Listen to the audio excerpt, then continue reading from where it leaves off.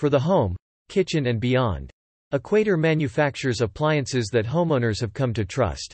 Even a trustworthy appliance requires occasional maintenance or repair. However, if you're in need of Equator appliance repair from experienced professionals, your local appliance helper can help. Unit does not refrigerate or freeze. Compressor does not operate. Wall socket is dead. Check installation. Install new fuse if necessary. Mains cable is defective. Repair or replace socket or main cable. Thermostat is defective. Replace thermostat. Defective winding in compressor. Replace compressor. Starting device is defective. Replace starting device.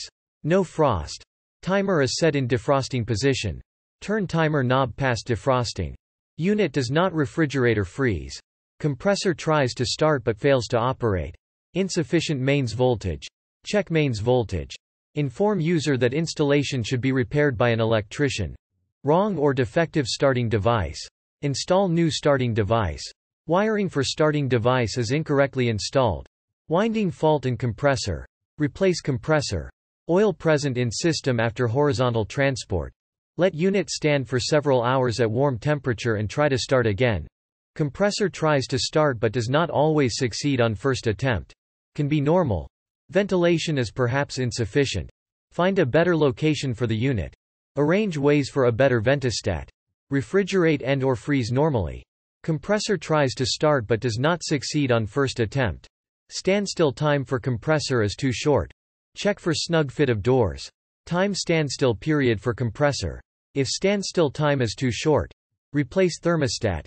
Compressor runs continuously. Unit refrigerates freezes normally or too much.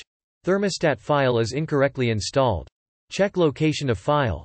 Correct the fault. Cutout temperature can be raised by giving the file a greater surface contact with the evaporator. Ice formation around thermostat file. Check for snug fit of doors.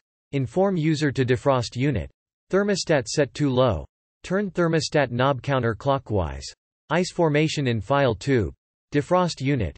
Remove thermostat file. Dry thoroughly and replace. Repeat until the file is dry. Seal with putty. Defective thermostat. Check internal wiring for short circuit. Replace thermostat. Compressor starts normally but stops again. Extremely high voltage. Measure voltage. High ambient temperature. Poor ventilation. Measure temperature and check ventilation around compressor. Can be normal. Check temperature.